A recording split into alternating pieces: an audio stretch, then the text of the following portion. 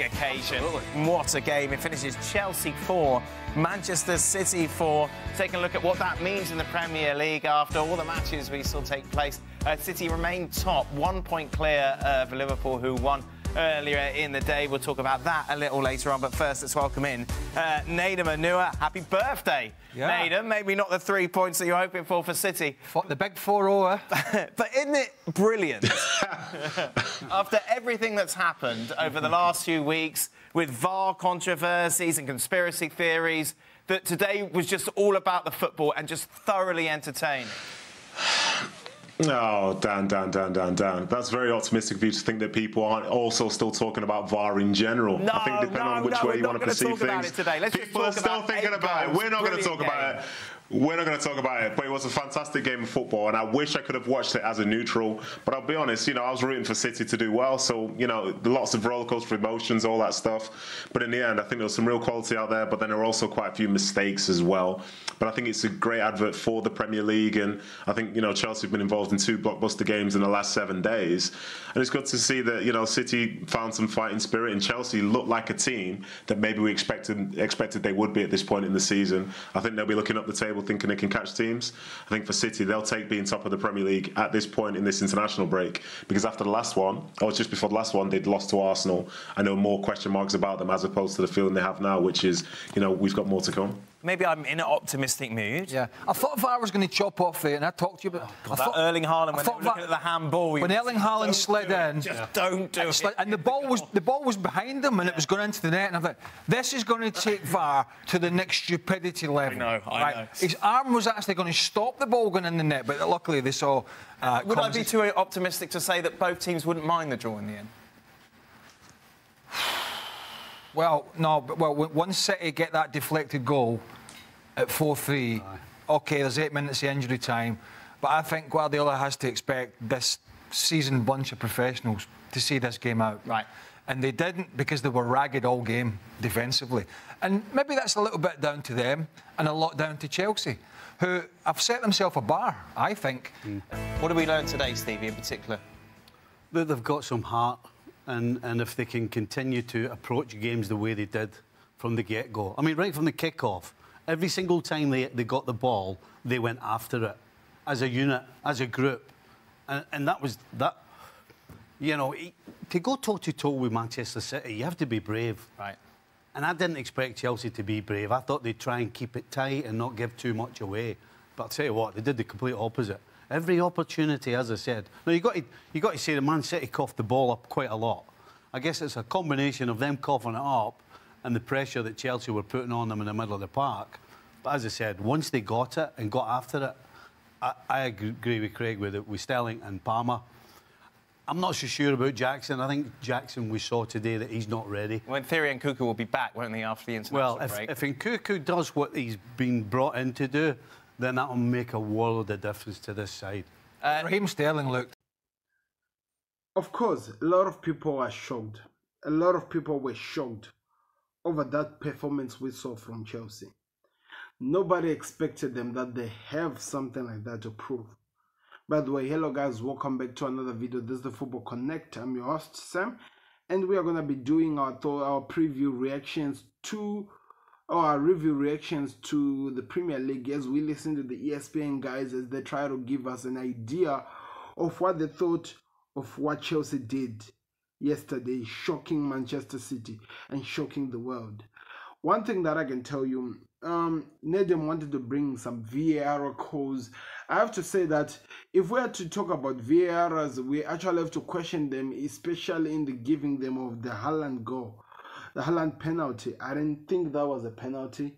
So many questions has to be asked about that. I have no idea what exactly what the referee was the referee thinking, and the VAR doing nothing on top of that. That just made it worse. That just made it worse. But Chelsea made it a game that City will remember. They forced them, they put so much pressure to a point that Manchester City were making so many errors, so many mistakes, which were causing so much into their performance, into whatever they were trying to create. They struggle and they really did suffocate to create anything meaningful. And that took oh, that all came from Chelsea. They put so much pressure into this team that this team was looking for a way out. That tells you how serious this was. It was a game that so many people would talk about. So many people will really have to look back and see how you prepare for a team like Manchester City. One thing that I was really, really, really, I really did enjoy so much when I was watching the game is that every loose ball, Chelsea were on it every loose ball. So it means that Manchester City had to always keep the ball in their feet. If they lose it, Chelsea has it, and Chelsea were coming for it. And to a point that Manchester City, in, in the mix of trying to fight and get the ball, they started making so much errors, which costed. Chelsea, which gave Chelsea opportunity to really hurt Man City. And like what Stevie Nicol is saying, I think if we are going to learn something eh, important about this game, is that the heart of this Chelsea squad is out of this world. What Mauricio Pochettino is now starting to build out of this team is something that is going to live for some time.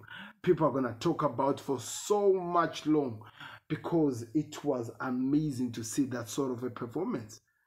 It was amazing. Anyone who doesn't enjoy football, who does not even like this team, has to give the, he has to give at least some respect over the performance we saw today. Talking about Jackson, I felt like in, in all position we saw this game, Jackson alongside Moises Caicedo, but Jackson more the most was the one who really led this team down, this Chelsea squad. Because so much that these others were doing, setting up for him, he was not finishing the chances. And I felt like if he had a little bit, even 10% of his shooting balls, there would have been this game would have been a different game from how it even ended. That tells you that everyone expected something different. There was a question that was asked here by Dan. He was asking that do you think that in the end the team should have all of the team had accepted that it goes and it ends uh like it ends as a draw and Craig is talking about something interesting. Manchester City, for what we know them, for what they have done in the world of football, them not being able to see this game to an end, it asks more questions of them and their mindset where they want to go as a team than we actually even expect. This was one game that we'll talk about for some time, people. Let me hear what uh, Craig is about to say but when we talk about Raheem Sterling. Yeah. You know, that guy who's gone to Gareth Southgate, two fingers. You know what I mean? Like, at the end of the day, you know, but he looked really, I don't know, he looks trim and sharp. And even when he was one on one against Kyle Walker, he was prepared to take Walker on. Uh, and Cole Palmer, I mean, obviously, I've maybe a point to prove. I don't know. I think he's a really good player. He obviously wasn't seen to be good enough long term at City, or they wouldn't have sold him. But he's a great talent. But you know what was noticeable from a Chelsea perspective? We saw under Potter and even under Tuchel where they had some success. Was the the build-up play was a lot of possession, but but quite slow. Mm. I think the not, noticeable difference we're starting to see, and certainly we saw today under Pochettino, was when they won it back, they got forward a lot quicker. right. They were a lot pacier. Before you knew it, they were at the City back four. They were on the edge of the box. They were getting balls in the box and people forward. And it's almost like Pochettino wants to speed the game up. They did that today, yeah. and they got four goals for it. And I tell you what, City did not look comfortable at all. No. Every single time they Chelsea went after them, you felt as though they might get something. Yeah. What was it about today, in particular, Nathan, that to use Craig's word, that, that saw that City defence look so ragged? Um, I think it was that front foot approach from Chelsea, and I think one thing that maybe Chelsea struggle with in other sorts of games is teams they'll play against. They'll maybe take more of a backward step, so they've got more players to break down. But I think Pochettino had seen from the way City play that if you can get the ball off them, there's a chance for a quick transition. And I think with the likes of Palmer, with Sterling, with Jackson, with Gallagher up a bit higher, they can really try and push the tempo and make the team uncomfortable. And there were lots of opportunities and times you said where City were ragged in terms of their defending. I think it's fair to say the same was also true for Chelsea in certain parts of the game as well. But I think this is this is good. And there was a stat that came up in the game. I don't know if it was on your feed over there But City have averaged the most possession of a team this season at 62% per game. But Chelsea were in second. So all of a sudden it explains why they wanted to get on the ball, the way they wanted to approach the game. They were never going to take a step back. And I think Pochettino's given them a good play game plan. I think that's two games in a row that he's done that. And it was exciting. Cole Palmer for a point to prove Sterling scoring his first goal against City now. Those two guys were very amped. Jackson, you know, he was keeping City honest at least. And I think it was a, it was a fantastic game because both sides really wanted to go for it and wanted to go for the win. And I think a draw is probably a fair result overall, but I think both sides will feel a bit disappointed because they had moments where they had the lead and you thought maybe something could come from this. Uh, talk to me about. I, I just, I just want to just uh, get Cole Palmer, obviously, Ned. You'd have seen him develop uh, throughout City before he made that move in the summer. Just tell me a little bit about him. I think, to be honest, I always thought he was good, but I did never thought he was so good that he should play instead of anyone that's been in City's front line or in midfield for the last few years. But again, this just goes to show sometimes if you find yourself in the right place and you get given confidence, then you can really show your ability. Because one of his coaches, Joleon Lescott, for the under 21s last year, he always used to say how Cole Palmer is an exceptional talent. And when the money came in from Chelsea, I think the 42.5 million pounds, there were lots of people that raised eyebrows thinking, well, of course you've got to send him down there because that's so much money for someone that's not proven. But for him, he said that's going to be a good deal for them. And you can see in the way that he plays, the way that he carries himself now at Chelsea, he's confident. He feels like he's the guy. He's the man who's playing week in, week out. He's played more minutes for Chelsea this season in the league than he played for City all of last season in the league. So you can see he's comfortable and he's getting a chance to show his potential in a style and a side that suits his suits his ability. So fair play to him. He steps out there and he's the main man. Like Cole Palmer's taken a penalty in the 92nd minute or whatever of a game against his former side as a 20 year old, having Raheem Sterling playing there, who he's played with for the last five, six years, who would never have let him take a penalty before. I think it's clear to say that, or clear, clear to see that upon leaving City, it's not about him being an academy graduate anymore he's the new signing for Chelsea that's there to help them achieve their goals this season, and he's playing in that manner, and it's, uh, it's a great thing to see. He takes it's the way that he takes the ball for a run. He sort of glides across the surface. He's, he's a very talented young guy. Mm. And he went and just before it was late in the second half. He went in a great run, didn't he? Right through the middle of the yeah, Chelsea defence. Should have scored though. Yeah, he probably should have scored. He got a little knock. Old day, hypercritical here. shouting, at, shouting at the TV again. But he did. He did get a couple of nudges that just sort of put him off a little bit. But uh, I think I heard John Champion in the commentary say uh, Chelsea hadn't scored against Man City since the Champions League final. Um, I said that on yesterday's show, actually. Did you? Well, yeah. Oh, I, I, John Champion. I, I must, not, I must yeah. not have been listening. Yeah, you were too busy saying because I said it was going to be a draw and you shouted at me for that. Well, you got lucky. Let's be honest. It took a late one, a late equaliser. I, am with Stevie, and I, you know I've said before in the programme that to me City have a lot more problems down the left-hand side than they do on the other side. Right. Gvardiol's a good player, but he's not. He's not a fullback, and the way he got his body shape uh, there was just all wrong. It was just all wrong. And he's not the only one. Aké's been put out there. Uh, you know, Akanji's been out there. It's a little, I wouldn't say it's a problem area for him, but it's certainly a, maybe a little bit of a weak point in this City team, that left-hand side, because we know on the right side generally, uh, for general rule of thumb, Kyle Walker is just you know, he's almost unbeatable as a all, defender. And they're all centre backs that he's trying at full back. Mm-hmm. Centre backs hate playing full back. Right. They, they, they, the, the comfort they have in the middle of the park and having players around them is part of why they love playing where they do. So when you stick a, a centre back wide, all of a sudden he feels exposed and they hate it. And he's finding that out because every single one he's tried, they've all struggled a bit. Do you remember the it is really interesting what these guys are talking about. You know, under trying to give us an idea of how Sterling really performed. Because one thing that we can all agree with is that Southgate has to something has to be wrong with him if he cannot see the star Sterling is, especially with such a performance playing against the biggest team in the in the world at the moment. City are recognized as the biggest team in the world, and if you can see somebody in Sterling who can come up 100%, gun blazing, causing problems, and you still him not selected for England, it's just crazy. The other thing that was said was he was not afraid to take Kyle Walker on a run. Kyle Walker, I think if you could ask him, he would tell you that he had one of these worst performances today because he had somebody who was willing to take on him one on one and that caused so much problems and it was the, you could see that they were a little bit rigid and they could not keep up with the pressure and the speed that Chelsea were putting on. Something that was mentioned by Craig, which I think is very important, is that. Oh, I think this was mentioned by uh, the the city supporter. That he said, as much as people talk about how City really struggled about Chelsea, but if you look in the Premier League, the second most team with the position who enjoys controlling the ball is Chelsea. So seeing them trying to take advantage of that, trying to take the ball from City, it should not really come as a surprise because they're already known for doing that. They're even second in line, and they showed that today in the game that they wanted the ball. They were fighting for the ball so that they have control of the ball, and City could not keep up with that. That was where some of the problems of City came from. The other one was let's talk about Cole Palmer. This kid had, had, had, had something to prove. He wanted to prove, like what Nedum was saying, he was always told to be one of the best. Of course, maybe City did not see him as a star. Guardiola did not really give him the chance. And when he got the Chelsea side chance, he ran in and he took it with all. He believed in himself more than the team.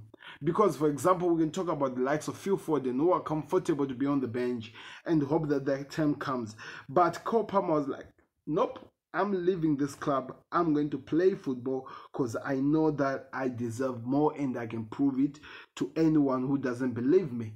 And that's exactly what they did. And he's now at Chelsea. In the last minute, the highest pressure point of any penalty you can ever take, having the confidence to score a goal against your former side, the people where you have been learning from, like you have been your seniors, it's it's it's it takes guts, and you have to put some respect on Palmer because I think he proved something to us that we had not really seen that he is a force of nature he is willing to fight to the very end. And I was really impressed with that. Of course, there were some points when he got some chances, like Stevie What is saying that he should have scored, but there were so many things that were happening, but you could see that this guy is really, really amazing. Now let's talk about what Mauricio Pochettino has done so well. Craig is mentioning that under Thomas Tuchel, or under Graham Potter, when you'd expect this Chelsea side, when they were playing so good by those moments, when you'd expect them to move so fast, you would see that they would slow the ball down, they would lose the energy, they'll always stop. And that could not really show us exactly what this team was capable of. But today, when the ball was just coming from the goalkeeper, or maybe when City were just losing it in their side, very quickly, it was already in the city side, putting pressure on the center backs. And that was one of the most amazing things we saw from this team. And also, now we are seeing some of the weakness of City because we have now actually seen that one of their weakest, uh, weakest side is the Gvardiol side. Their left side is the weakest of them all. And I think Chelsea managed to expose it so much that even Walker was trying to help out and also he was exposed. I actually thought that maybe they exposed the whole defense because we saw that City cannot deal with a player who actually goes to them head on. They cannot copy with the pressure. The pressure is too much for them. They'll always try to by all means to waste the chance to do what and do what. But when the player is going straight and coming against them, they struggle to get anything, even to create anything meaningful. And that is so was very important to learn. And I think we can still learn more and see, see more from this time. But it's gonna be exciting to see how that happens. Stephen Nicol is telling us how every centre back had to play as a wing back. And the fact that there, those centre backs are playing as wing backs, that just tells you that there is really, really trouble in paradise. Anyway, let's hear the last part of this video so that we can give you my final thoughts over the performance. The game at Old Trafford, which they won easy in the end, it was in the first half, United's chances all came from pretty much Gvardiol been, been sloppy on the ball. Mm. I mean, we're not quite at the stage of putting Bernardo Silva back there, like, like, he did, like, he did, last year. But it is maybe some food for thought, that position. Uh, Nathan? No, I think I think that is fair. It's not obviously not as strong as that right side, and I think at times, you know, when I see Vardy, oh, I think, oh, this is a really good player, and his ceiling's very, very high. But then there are other moments, as was the case in the derby for that first period, where you remember, like, this is a 20, 21 year old in a new league for the first time. And I think some of those little mistakes and little bits of naivety, I think he will get better with that. I think he's capable of playing the left side of a three if it's going to be in terms of an attack. But at the end of the day, I think as long as you're making a lot of mistakes when you're younger, you'll be able to grow out some of those going forward. Because for City, in terms of what they want to try and achieve come the end of the season, you know they can't have slip ups like they were making today. Now, Chelsea obviously have given other sides around them a big head start, considering the way they Don't started ask. the season. Don't ask. No. No. No. Let's just No. Take look. Shut up. Let's just take a look at the odds regarding a top four. Oh, God, here we go. It's happening. Here it comes. One result. Yeah. As, uh, well, they beat Spurs 4 1. The nine men. lost Nine four men. goals at home. Do you remember when we had that graphic up in this horrible run and we were like, they're going to get four points from the next eight games? Well, how many? I didn't say four. Uh, so they currently sit on 16 points. That's 10 adrift of Spurs. They are 5 to 1, which is quite short, considering United are 9 to 2. Given the groans and the moans, you, you, you, you're not on board this whatsoever.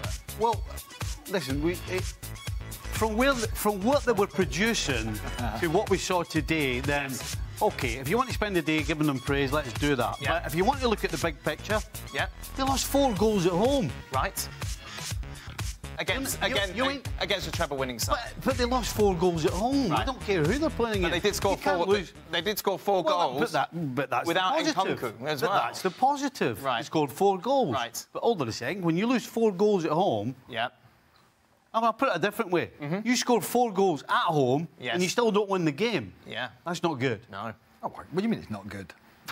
Well, you scored four goals but at home, but you- but you don't win the game. No, but it, What part, what part of that is well, you great? just said Chelsea were good today. I'm just, if you want to go that route and, and praise them, yeah, but you've got to look at the big picture, and they, they lost four goals at home. Right. No, yeah, that's team- where they are. Teams that, listen, teams that, that want to be in the top four can't afford to lose four at home. I don't care who you're playing. 25. Did 20 they lose four at home? Yeah, I think Thiago, so. he's 39, Thiago Silva. Yeah, I mentioned that as well. Oh, there you go. At the end of the day- That's not a positive either, is it? Wow. Well, he's doing all right. No, Oh, he's doing great. It's all right. 25 matches to go, Nathan. What do you reckon? two goals a day. So I think they'll be in the Champions League next season, but I think it'll be because you can you'll potentially be able to finish fifth this year. Ah. And I think if you look at it from that context at the moment, is Villa that are in fifth. Villa are doing very very well. They've won 13 home games in a row. Is this what we think they're going to be doing for the rest of the season? I'm not 100% sure. So I think Chelsea will be in the mix around that fourth and fifth position but likely finish fifth. And I, I, I'll be honest, I'm a Chelsea truther. I think they're good. I, it, it's agonising. I think their biggest problem has been not scoring goals because defensively overall they've been fine. But I think they're going to do it, and I think they'll be fifth and be in the Champions League next year. But they have to keep that going, don't they? So, I mean, it's, it's all very well beating a nine-man Spurs and putting this kind of performance up, but, but the, the international breaks come at a bad time for them. Right. Two good perform- one good performance against nine men, and one really good performance against the best team in England, the best team in Europe. Right. They'd want to play again three, four days later and keep this going. Right. But that's the big question. Can, can they keep it going, or are they going to revert back to the team that, that plays okay and just misses a, a, bundle of chances. Yeah, and Kunku's coming back. But Newcastle will get stronger. Villa are still strong. Uh, who the hell knows what's going to happen with Man United? So it's not, it's not going to be that easy. I don't think they're going to make it. City still going to win the league? No massive red flags today going forward. No, I think I think you have to question when when you lose four goals away from home. Uh, I think you do. I think I think the biggest question, if I'm go, uh, is, is Pep, is the amount of times they gave the ball away is not like them, and and this is not the first game this season that's happened. That would be a little bit of a worry. Okay, people, so let's get it to the end now. As we were talking about City, what if they want to achieve greatness like what they did last season? Games like this should not they should not be losing footing. And I think Nedum really made it so clear that they should not be finding themselves losing their footing. These are the moments they need to focus. These are the moments they need to show us that they have something to prove what we were seeing today, if they have any intention of getting something at the end of the season, there should be direction over what they're doing. And I think it's very important that they really highlighted that part.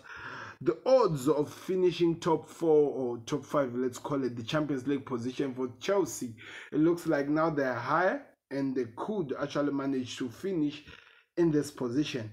And I think Steven Nicol is just just trying to be Steven Nicol is really explaining that if we really look at this in the other way, they've just conceded four goals at home.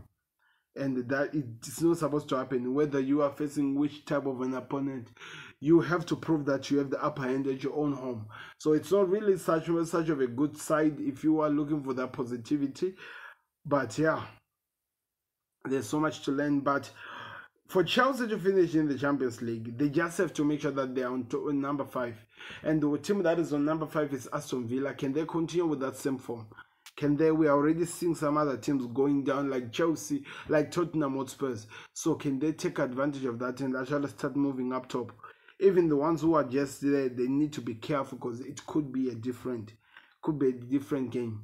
And after this amazing performance, one thing that Craig really explained, which I felt like it was very, very spot on, was when he talked about how the international break has come at the wrong time for this Chelsea team because usually when you have worked so hard to perform like this, you build a chemistry, and usually when you go astray, uh, you move away, that chemistry is destroyed. So it's it's interesting. It's interesting if they are going to be able to continue after the international break with the lot of the, the break that they're going to get. It's going to be exciting to see.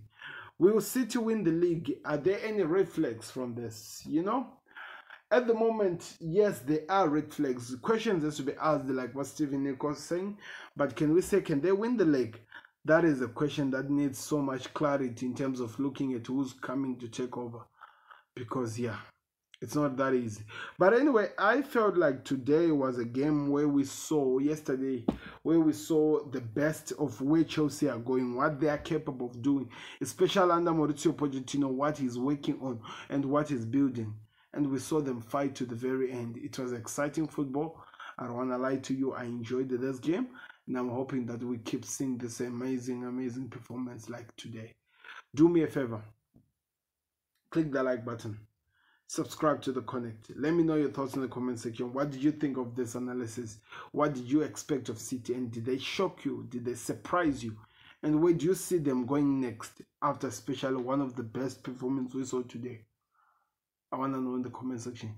Click the like button subscribe to connect. We're out. Peace